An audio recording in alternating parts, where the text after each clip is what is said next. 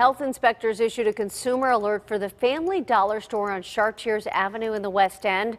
A health inspector found a number of high-risk food safety violations. The report says there were too many rodent droppings to count and some food had been chewed through. The store is still open, but it's the third time inspectors have cited that store.